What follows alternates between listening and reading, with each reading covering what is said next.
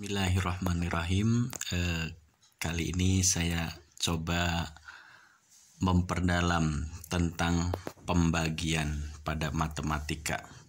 Operasi pembagian ini salah satu operasi yang lumayan cukup sulit di tingkat SD karena hampir kebanyakan anak-anak SD itu mengalami kesulitan pada materi ini. Nah, bagaimana untuk pembagian? Yuk kita coba. Ini ada contoh. Ya, misalnya 112 dibagi 7 sama dengan 112 bagi 7. Pertama kita lihat bahwa 112 itu lebih besar dari 70. 112 lebih besar dari 70. Mengapa kita ambil 70? Karena 70 adalah hasil perkalian 7 dikali 10. Ya, 7 kali 10. Oke, berarti kita sudah dapat hasil satu angka yaitu 10.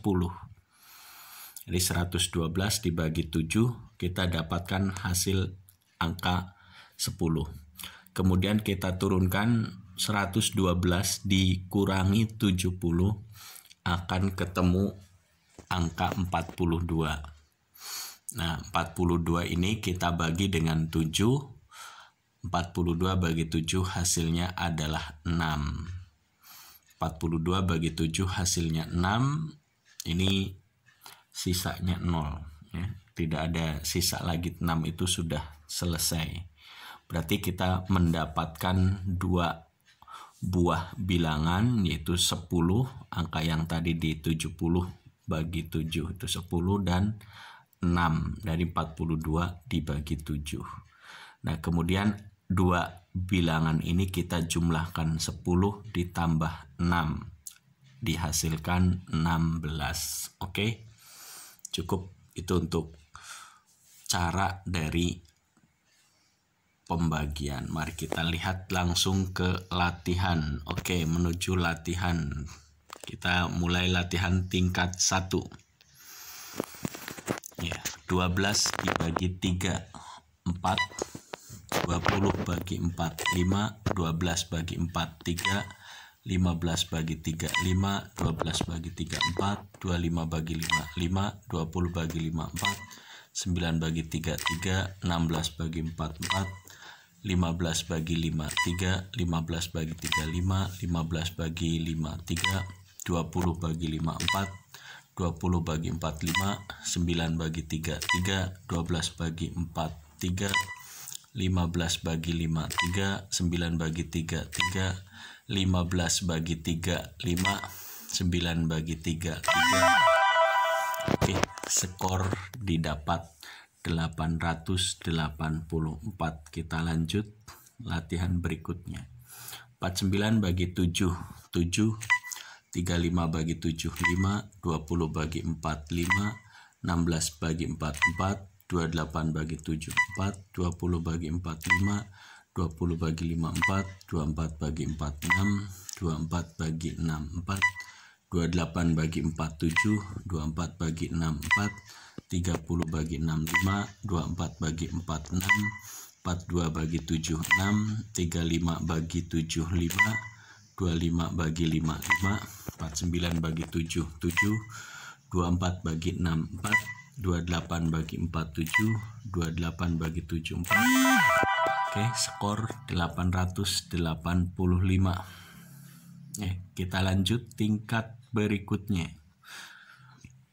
81 bagi 9, 9 42 bagi 7, 6 30 bagi 5, 6 49 bagi 7, 7 35 bagi 5, 7 72 bagi 8, 9 49 bagi 7, 7 54 bagi 9, 6 30 bagi 5 6 36 bagi 6 6 54 bagi 6 9 54 bagi 9 6 45 bagi 5 9 56 bagi 7 8 56 bagi 8 7 63 bagi 7 9 30 bagi 5 6 48 bagi 6 8 54 bagi 9 6 35 bagi 5 7 skor 865 kita lanjut tingkat berikutnya. 42 bagi 6 7 54 bagi 9 6 42 bagi 7 6 77 bagi 11 7 99 bagi 11 9 66 bagi 6 11 80 bagi 8 10 110 bagi 10 11 54 bagi 6 9 63 bagi 7 9 90 bagi 9 10 48 bagi 8 6 54 bagi 9 6 66 bagi 6 11 42 bagi 6 7 81 bagi 9 9 66 bagi 6 11 90 bagi 10 9 42 bagi 6 7 63 bagi 9 7 skor 842 kita lanjut 63 bagi 7 9 72 bagi 8 9 99 bagi 9 11 70 bagi 7 10 88 bagi 11 8 120 bagi 10 12 81 bagi 9 9 104 bagi 13 104 dibagi 13 berapakah 8 169 bagi 13 13 108 bagi 12 14 salah. 108 bagi 12 9 99 bagi 9 11 130 bagi 13 10 91 bagi 7 91 bagi 7 13 104 dibagi 13 8 156 bagi 13 12 49 bagi 7 7 99 bagi 11 9 70 bagi 7 10 91 bagi 7 13 144 bagi 12 12 oke skor 747 ya demikian.